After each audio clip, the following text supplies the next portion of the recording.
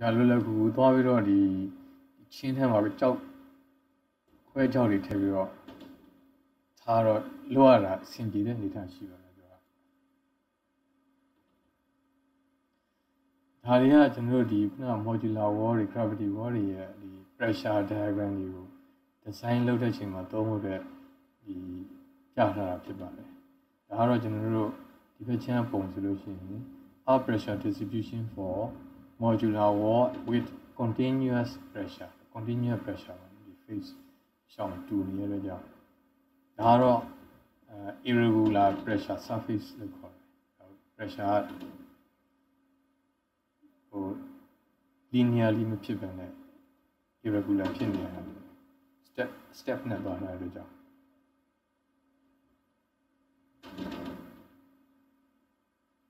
နောက်က mechanically stabilized art wall သူကလည်းတကယ်တော့ဒီခုနပြောသလိုပဲ lateral up pressure ကို sustain လုပ်ဖို့ဘယ်လို stability ရအောင်လုပ်မလဲဆိုရင်အချက်ကို concept ကိုအခြေခံပြီးတော့ဟိုထပ်ပြီးတော့နောက် modify လုပ်ထားတဲ့ဒီ type တွေပဲပေါ့ဒီမှာ solution ဒါဒီအဲ principal component of mechanically stabilized up wall ဒီကောင်ဆိုလို့ရှိရင်သူ့မှာဆိုလို့ရှိရင် face wall ရှိမယ်နောက်က reinforce element တွေရှိမယ်နောက်ပြီးတော့ဒီ reinforce element တွေကိုကျွန်တော်တို့ဖိပေးထားမဲ့ဒီ arc mat ဆိုရ mechanically stabilized arc mat ဆိုတာရှိမယ်ဒါ retain လုပ်တဲ့ back face side ဒါ original ground တွေရှိမယ်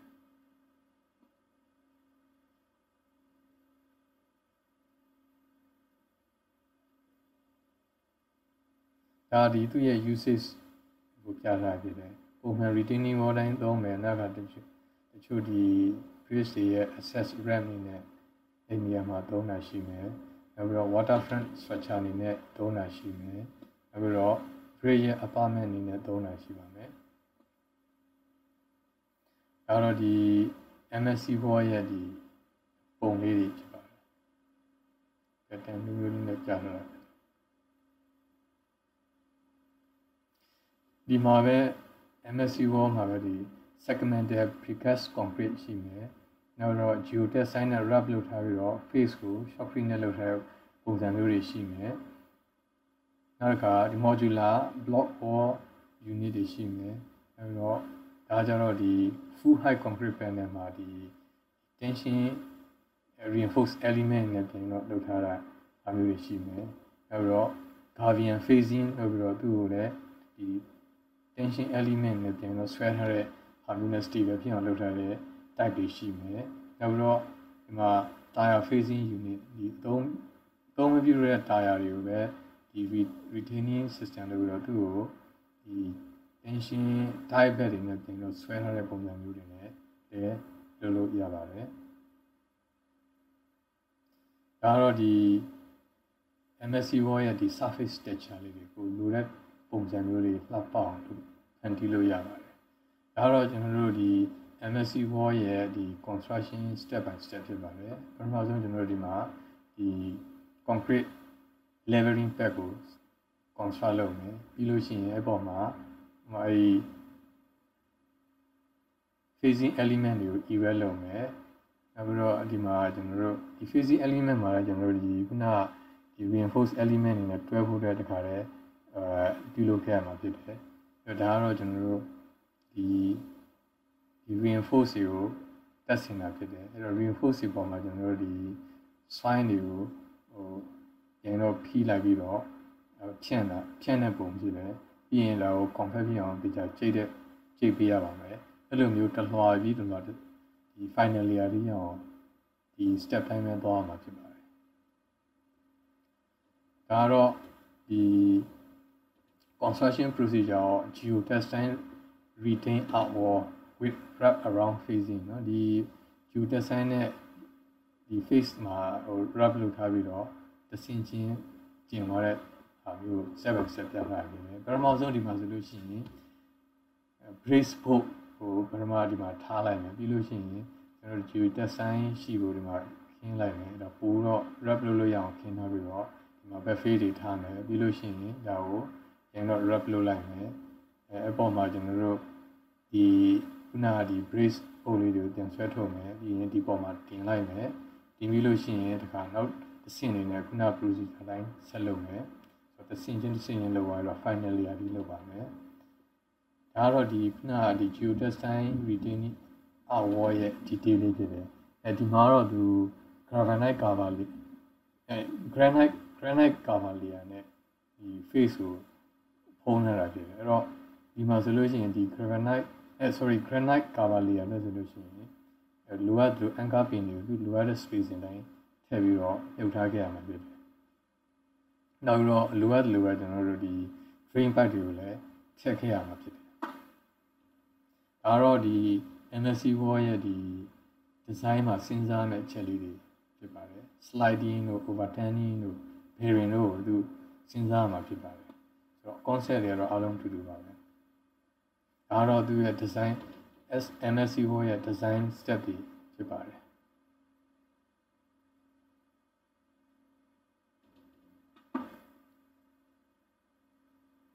နောက်ကကျွန်တော်တို့ non gravity cantilever retaining wall နဲ့ anchor wall တွေကြောင်းဖြစ်ပါတယ်ဆိုတော့ဒီ non gravity cantilever wall တွေဆိုတော့ဘာတွေဖြစ်မလဲဆိုလို့ရှိရင်ကျွန်တော်တို့ဒီ ဒီ celery wall တို့ diaphragm wall ပေါ့ diaphragm wall တို့ CVP တို့ tangent ပိုင်း secant ပိုင်းတို့ sheet ပိုင်း wall တို့ soldier ပိုင်းတို့အမျိုးမျိုးတွေရှိပါလိမ့်မယ်အဲ့ဒါကို non gravity retaining wall လို့ခေါ်ပါတယ်အဲ့တော့သူတို့ဒီ temporary excavation ရောဒီ permanent wall အနေနဲ့လည်းလိုအပ်သလို apply လုပ်လို့ရပါတယ်ဒါတော့ဒီပုံကတော့ကျွန်တော်တို့ဒီ soldier ပိုင် with wood or precast concrete legging ဒါတော့ဒီ soldier ပိုင်နဲ့ cast in place concrete legging ပုံလေးဒါတော့ဒီ master ပိုင် wall ဒီ H ပိုင်နဲ့ soldier ပိုင်တွဲသုံးရတဲ့ wall ဖြစ်တယ်ဒါတော့ဒီ sheep H ပိုင်နဲ့ဒီ sheep ပိုင်နဲ့တွဲသုံးတဲ့ wall ဒါကတော့ဒီ sheep ပိုင် wall ဒါတော့ဒီ salary wall diaphragm wall ဒါတော့ကျွန်တော်တို့ဒီ secant ပိုင် wall ဒါတော့ tangent ပိုင်ဒါကတော့ကျွန်တော်တို့ interlocking H ပိုင် wall ဆိုတော့ဒီ type အကင်းမျိုးရှိပါတယ်ဒီပုံကတော့ကျွန်တော်တို့ wall ရဲ့ဒီ support system တွေဖြစ်ပါတယ်အဲကျွန်တော်တို့လိုအပ်ရင်လိုအပ်လို့ support တွေသုံးပါပါမယ်ဒီမှာဆိုလို့ရှိရင် you cantilever wall လေးနဲ့ရပါမယ်တကယ်လို့ဒီထက်ပိုတော့ဒီ stable view ကိုလိုလို့ရှိရင်ဒီ swine band နဲ့ပြန်ပြီးတော့ ထိန်းတဲ့နည်းလဲနေရာရှိရင်ရှိလို့သုံးလို့ရပါတယ်အဲနောက်တစ်ခါအဲဒီဘိုးကိုကျွန်တော်တို့ record တွေနဲ့ထောက်တဲ့ wheel record တွေနဲ့ထောက်တဲ့ system မျိုးလည်းသုံးလို့ရတယ်ဒါမှမဟုတ်လို့ရှိရင်ကျွန်တော်တို့ဒီ wall ကို anchor block နဲ့ပြန်တော့ type အနေနဲ့ပြန်ဆွဲထားတဲ့ system မျိုးလည်းသုံးလို့ရတယ်ဒါဆိုလို့ရှိရင်ဒါကျွန်တော်တို့ဒီ wall ကို wheeler တွေ strap တွေနဲ့ဓာတ်ရိုက် export လုပ်ပြီးသုံးတဲ့ဟာမျိုးလည်းသုံးလို့ရတယ်ဒါမှမဟုတ်လို့ရှိရင်လည်းဒီ construction မှာကျွန်တော်တို့ ဒီ strap တွေရှုပ်နေမယ်ဟဲ့ဆိုလို့ရှိရင်ချီနေပေးလို့ရှိရင်ဒီဘက်ချမ်းကလည်းဟို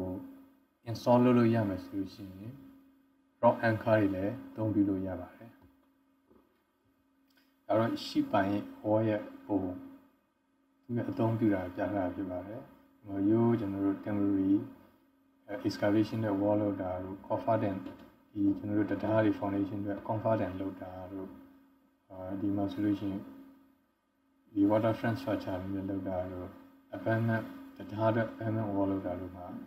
သုံးပြုထားတာတွေ့ပါတယ်။ဒါဆိုလို့ရှိရင်ကျွန်တော်တို့ soja ပိုင်း legging wall ကိုကျွန်တော်တို့ strut တွေနဲ့ထောက်ထားတာဖြစ်ပါတယ်။ဆိုတော့ဒါကတော့ဒီ soja ပိုင် install လုပ်ဖို့တဲ့ဒီ swine ကို drilling လုပ်ပြီးတော့ပိုင်ကို soja ပိုင်ကိုထည့်ဖို့တဲ့ဒါလုပ်နေတဲ့လုပ်ငန်းစဉ်ဖြစ်တယ်။ပြီးတော့ဒါကတော့ဒီ soja ပိုင်နှုတ်ကြားထဲမှာ legging install လုပ်တဲ့ရှိနေတဲ့ swine တွေကို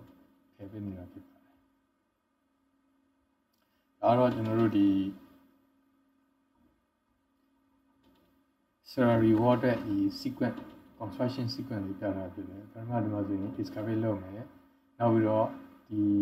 end portion မှာဒီ wall ရဲ့ end လေးမှာ temporarily steel tube နဲ့ပိတ်ထားမယ်နောက်ပြီးတော့ဒီကျွန်တော်တို့ဒီမှာ reinforce case ကိုချမယ်ပြီးရင် concrete လောင်းမယ်အဲ့မှာဒီဒီ wall တွေပဲဘာလို့လဲဆိုလို့ရှိရင်ဒီ compact cohesive sphincter ဆိုလို့ရှိရင်ဒီ guide wall လေးဒီလိုလုပ်ထားမယ်အာဒီပြီးတော့ဒီမှာ back face compacted back face spine လေးဒီလိုရှိမယ်နောက်ဒီကောင်ဆိုလို့ရှိရင် loose cohesive spine cohesionless spine ဆိုလို့ရှိရင်နောက်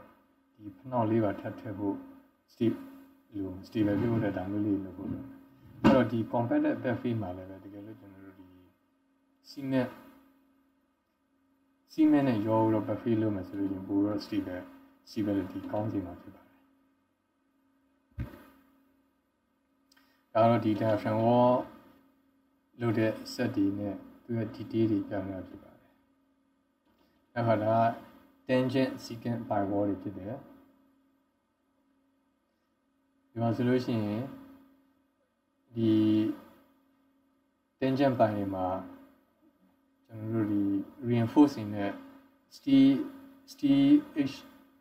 h column တွေကို reinforcing နဲ့လုပ်ထားတာဖြစ်တယ်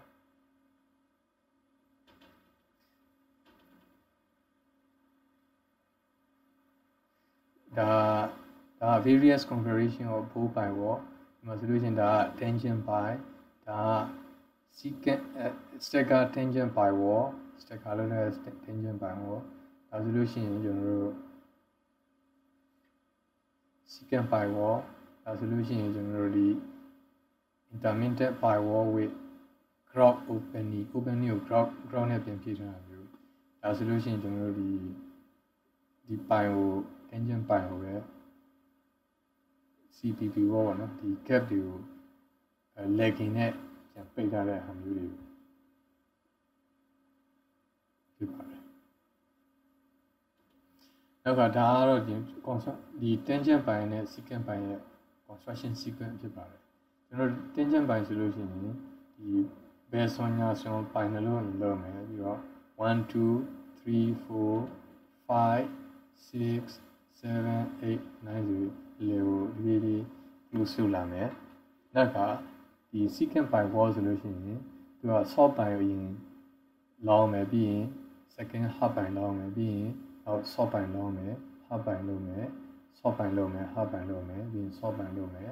half by လုပ်မယ်ဒီလို sequence နဲ့သွားလို့ရှိတယ်သွားလဲသွားရမယ်နောက်တစ်မျိုးတော့ကျွန်တော်တို့ဒီမျက်စိမှတ်သက် DMM wall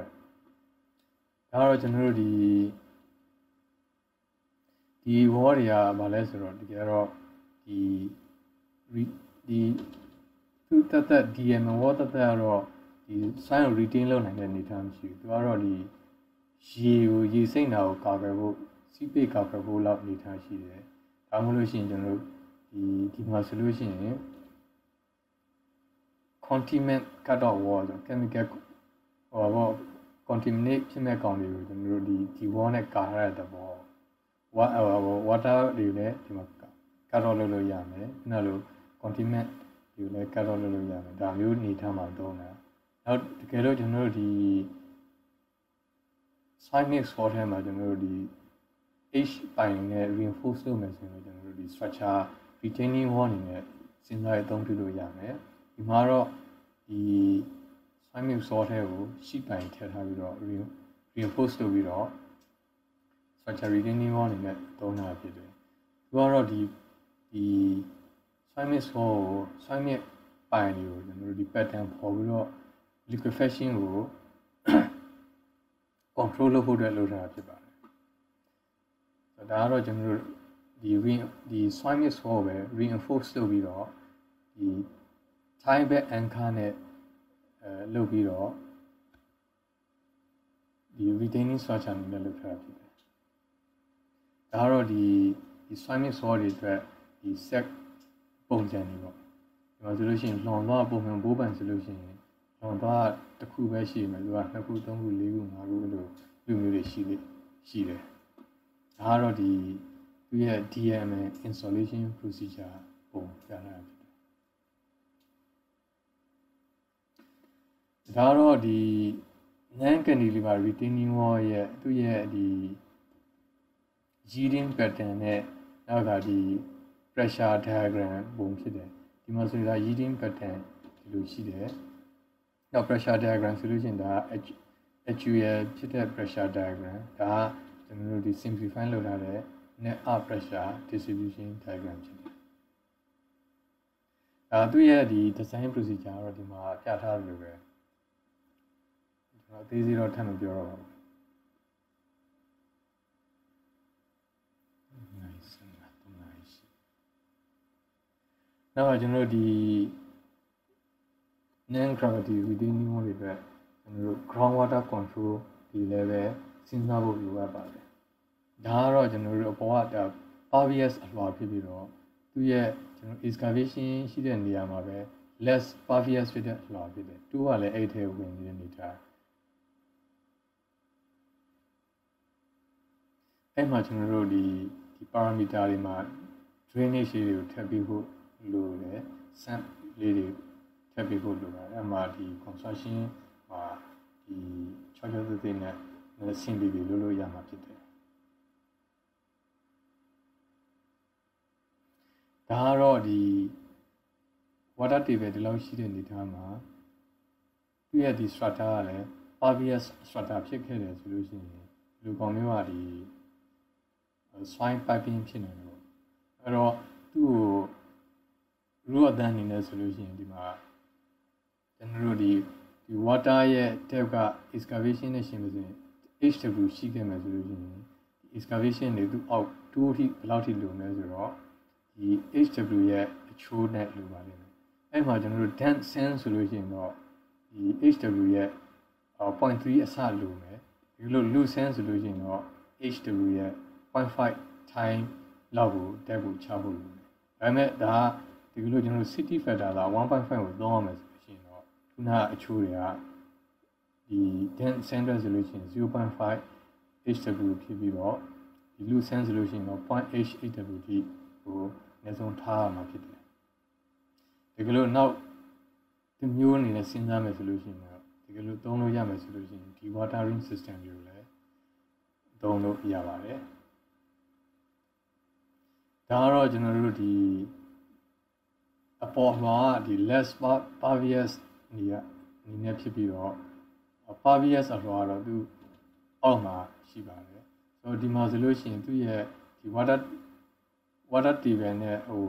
excavation ရဲ့ဟို lowest level နဲ့ကို HU လို့ပြောမယ်ဆိုလို့ရှိရင်ဒီဒီ less pervious အလွှာလေးကအနည်းဆုံးဘယ်လောက်ထိရှိရမလဲဆိုတော့ဒီ HU က 2T နဲ့ညီရမယ်ဆိုတော့ဒီဒီသူ့ရဲ့ tab လေးကအနည်းဆုံးဒီ HU ကတဝက်တော့အနည်းဆုံးရှိရမယ်လို့ဆိုလိုပါတယ်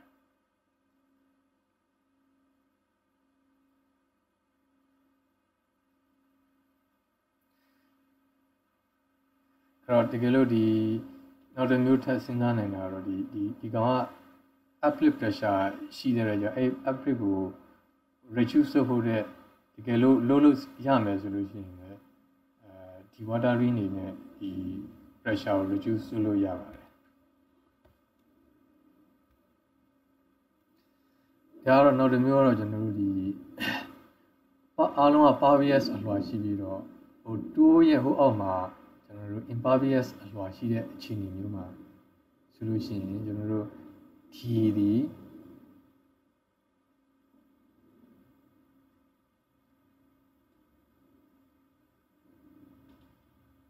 တကယ်လို့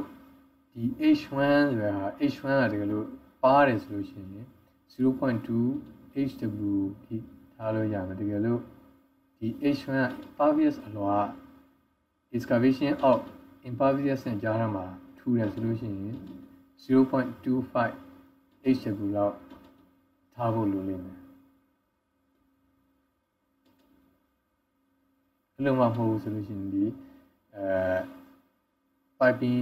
ဖြစ်နိုင်တယ် soil piping ဖြစ်နိုင်တယ်ပေါ့ဒါနဲ့ဒါအားလုံးကတော့ကျွန်တော်တို့ hydraulic အဲ calculation တွေနဲ့ဒီချာစစ်ဆေးဖို့လိုပါလိမ့်မယ်ဆိုတော့ကျွန်တော်ဒီ wall ရဲ့ type အမျိုးမျိုးအကြောင်းနဲ့သူရဲ့ design ခြေခံလေး basic လေးကိုဟိုဆွေးနွေးပြီးတဲ့နောက်မှာထပ်ပြီးတော့အာ seismic force on art retaining structure လို့ထပ်ဆွေးနွေးချင်ပါတယ်ဒီအကြောင်းအရာလေးကလည်းခု နောက်ပိုင်းမှာကျွန်တော်တို့ဒီ earthquake ကဒီ structure တွေမှာ concern ဖြစ်လာတဲ့လျောက် art retaining structure တွေမှာလည်းအဲဘယ်လို apply လုပ်အောင်လဲဆိုတဲ့ဟာတွေက concern ဖြစ်လာပါတယ်အဲ့ဒါဒါလေးကိုကျွန်တော်အာဒီမှာနည်းနည်း introduce လုပ်ပေးချင်တာဖြစ်ပါတယ်တကယ်တော့ဒီခုနကကျွန်တော် reference လုပ်ထားတဲ့ဒီစာအုပ်ထဲမှာဒီ seismic နဲ့ပတ်သက်တဲ့ဟာပါပြီးသားပါဒါပေမဲ့ခုဒီဒီကျွန်တော်ဒီ reference လုပ်ထားတဲ့ဒီ Garelli and Sita ရဲ့ဒီသူသူတို့ research လုပ်ထားတဲ့ကျမ်းမှာတော့နည်းနည်းလေးသူတို့ research လုပ်ပေးထားတဲ့ဒီပုံတွေနဲ့အဲသူတို့ရဲ့ equipment တွေသုံးထားတဲ့ဟာလေးတွေကဒီပို့ပြီးတော့ဟိုအမှန်နဲ့နီးစပ်မယ်လို့ကျွန်တော်ယူဆရတဲ့ကြောင့်ဒါလေးကို reference နဲ့ထားပြီးတော့ပြောပြတာဖြစ်ပါတယ်ဒီ reference ကလည်းဒီမှာပြထားတဲ့အတိုင်းဒီသူ့ရဲ့ အဲဒီ link ကနေ download လုပ်ယူလို့ရပါတယ်ဒီမှာဆိုလို့ရှိရင်သူ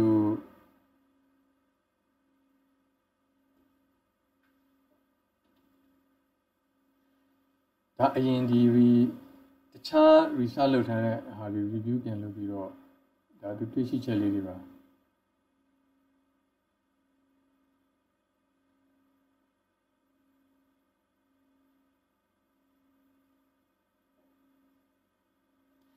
ဆိုတော့ဒီဒီမှာ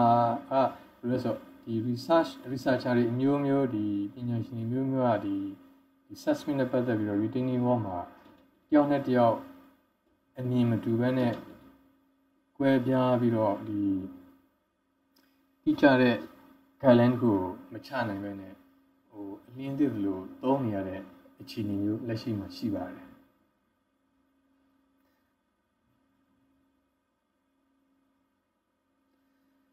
နောက်သူသူရဲ့ဒီဒီ research research တဲ့မှာ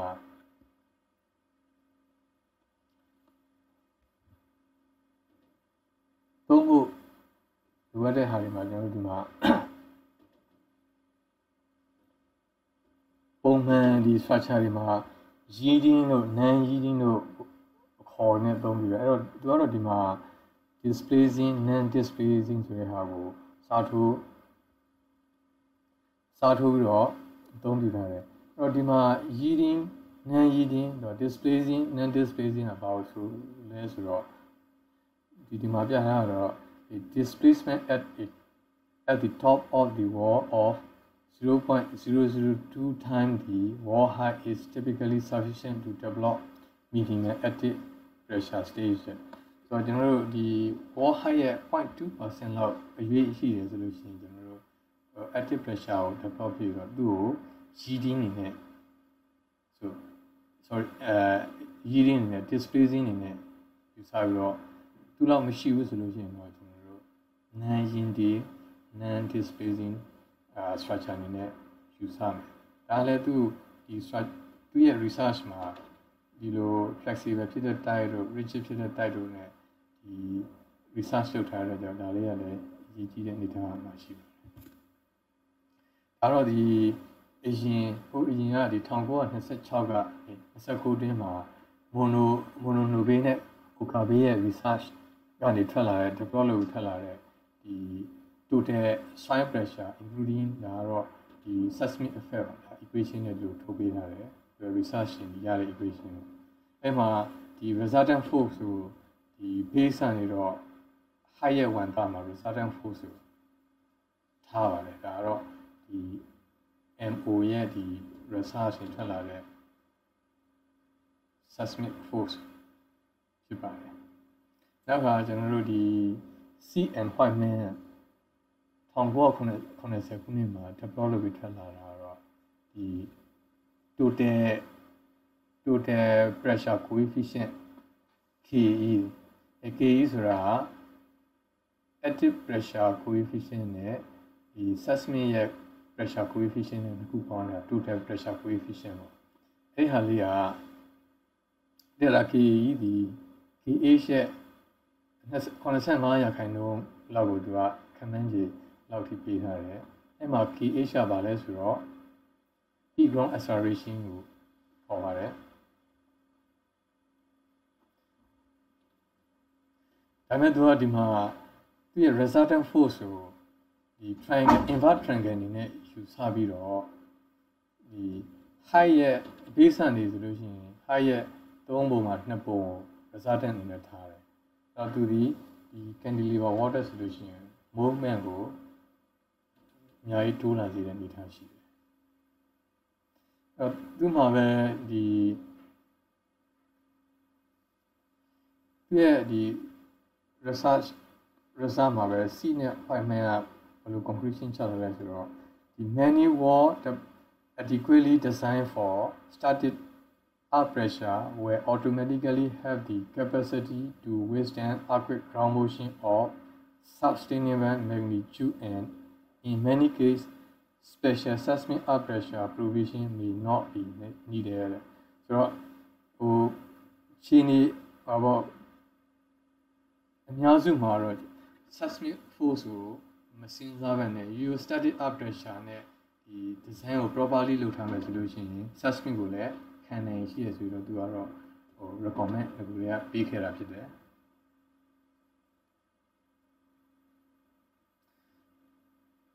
နောက်ဒါကတော့ဒီဒီစီတာရဲ့ဒီ result အတွက်အသုံးပြုထားတဲ့ဒီဟောပေါ့ model ပေါ့ဒီ model မှာဒါ ဒီ frame ကတော့ဒီဒီ soil retain လုပ်ထားတဲ့ဒီဟောပေါ့ဒီ soil boundary လို့ပြောမယ်ဆိုရင်ရတယ်ဒီ boundary ရှိမယ်နောက်ဒါကတော့ဒီ sand backfill လုပ်ထားတယ်နောက်ဒီကတော့ဒီ stiff brace wall နောက်ကဒါ flexible brace wall နောက်ပြီးတော့သူ cantilever retaining wall လည်းပဲဒီ model လုပ်ပြီးတော့ဒီဒီလက်ရှိရှိနေတဲ့ဒီ seismic time history ကိုခြေခံပြီးတော့ apply seismic ကိုဒီ table မှာလိုက် apply လုပ်ထားတာဖြစ်တယ်အဲ့မှာသူသူသူရဲ့ဒီ sensor တွေကတော့ဟိုဒီပုံစံတိုင်းဒါတက်ပေးထားတာပေါ့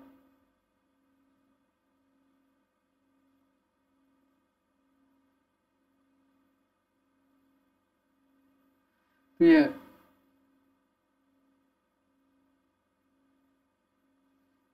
သူရဲ့ result ကိုပြောမယ်ဆိုလို့ရှိရင်ကျွန်တော်တို့ဒီ lateral up pressure အနေနဲ့ဆိုလို့ရှိရင် ဒီကတော့ကျွန်တော်တို့ arrest condition မှာရှိတဲ့ theoretically တွက်ထုတ်ထားတဲ့ဒီ lateral up pressure အာ sorry ဒါကတော့ active active up pressure ဒါကတော့ဒီ address condition မှာရှိတဲ့ up pressure ဒါကတော့ဒီ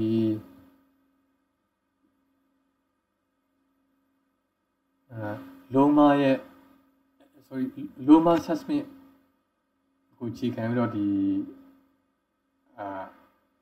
model လောက်ထားတဲ့ဒီ result ပေါ့နော်ဒါ step not နဲ့ step solve ဆိုတော့အခုထွက်တယ်ဆိုတော့ဒီမှာဆိုလို့ရှိရင်ဒီ step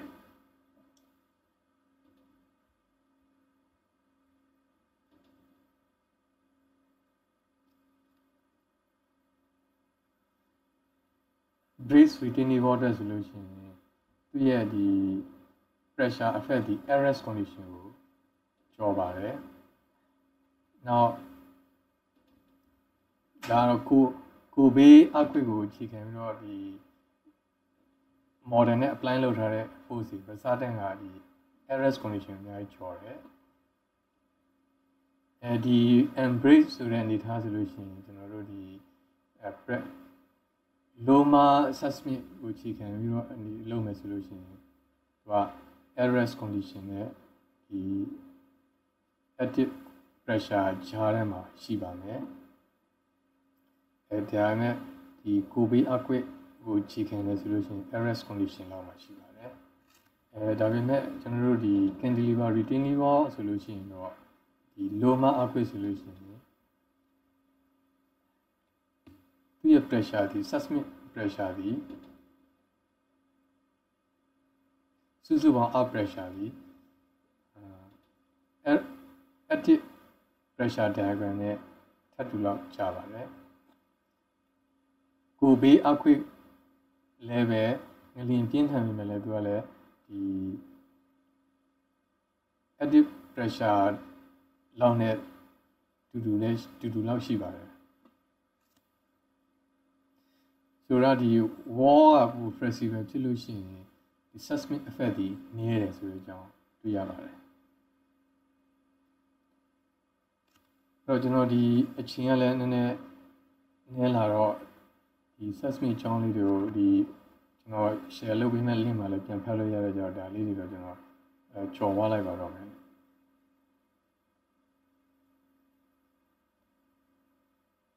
အဲ့တော့ကျွန်တော်ဒီမှာ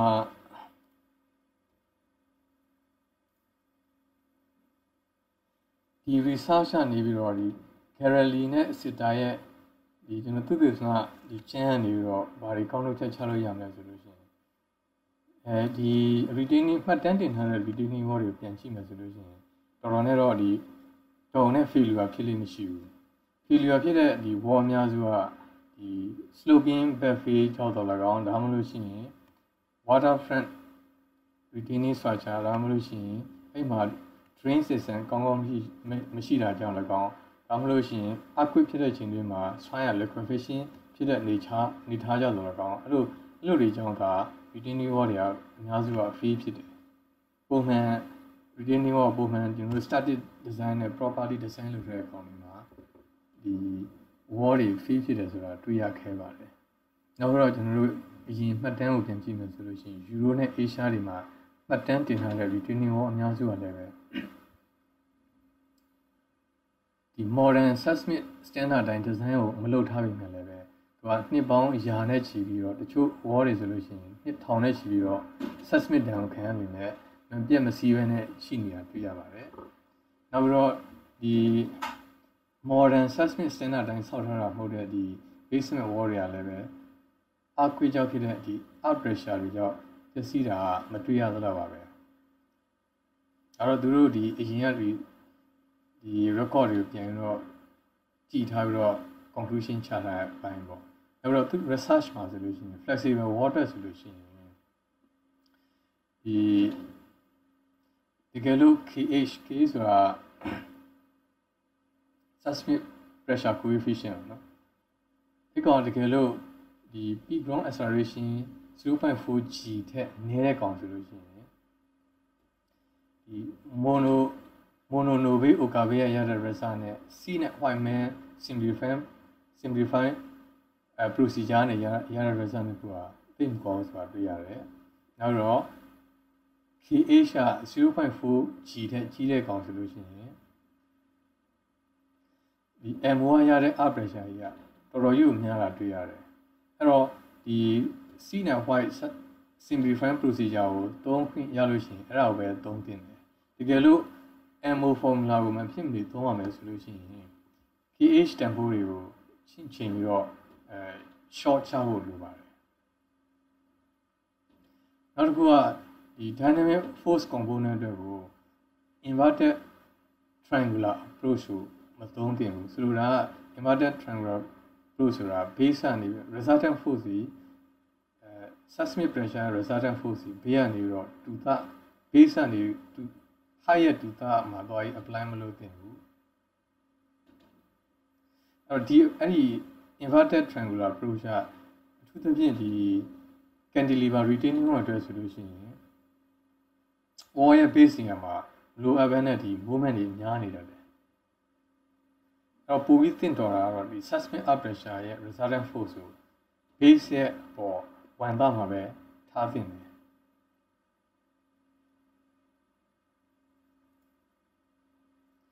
နောက်ဒီ rigid water ဆိုလို့ရှိရင်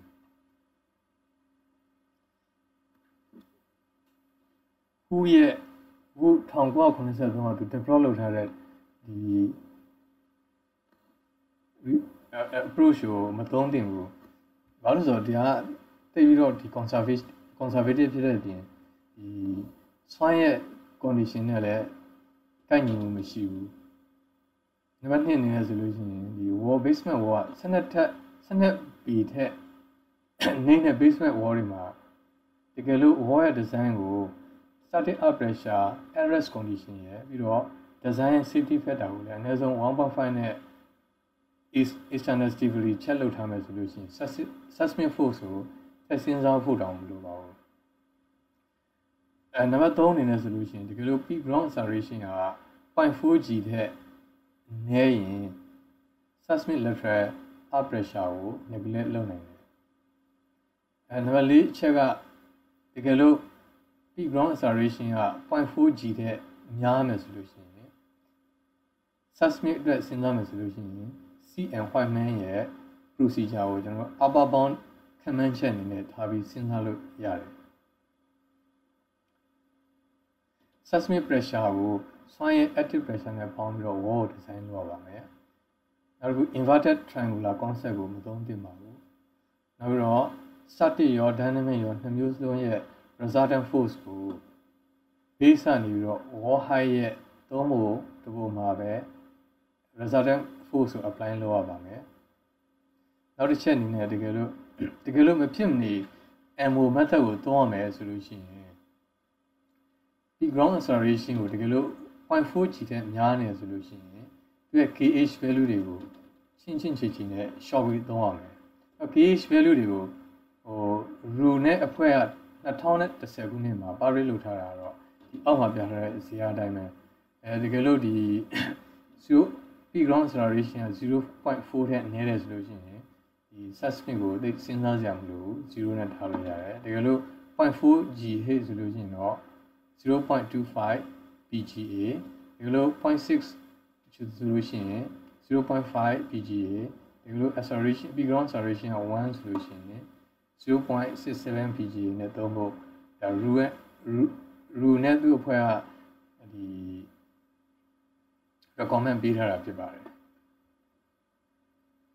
အဲ့မှာတခုသတိပြုရမှာတော့ဒီ MO procedure က up pressure ရဲ့အမြင့်ကြီးကို ပြီးနေအဲ့တော့ဒါကဟိုတိတ်အသုံးပြုဖို့ဟိုမသိတဲ့အနေအထားမှာရှိပါတယ်နောက်တစ်ခုကကျွန်တော် dynamic component ခုန seismic pressure ကိုဟို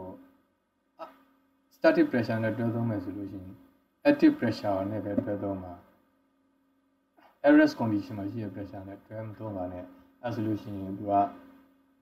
ဒီ conservative conservative သိဖြစ်လို့တဲ့အနေထားမှာရှိနေပါလိမ့်မယ် ဒါတော့ဒီစီစီတာရဲ့ဒီ research ကျင်းကိုဟို review လုပ်ပြီးတော့ဒီတွေ့ရှိရတဲ့ဒီ conclusion တွေကျွန်တော်ဒီမှာအဲချပြထားတာဖြစ်ပါတယ်ဆိုတော့ဒီကျွန်တော်ဒီ overview retaining wall system ရဲ့ overview ကိုဒီမှာပဲရပြီးတော့ကျွန်တော်ဒီအချိန်ရှိတဲ့အတိုင်းမှာအထဲမှာထပ်ပြီးတော့အဲနောက် counter for retaining wall analysis နဲ့ design detail ကိုဆက်ပြောပါတယ်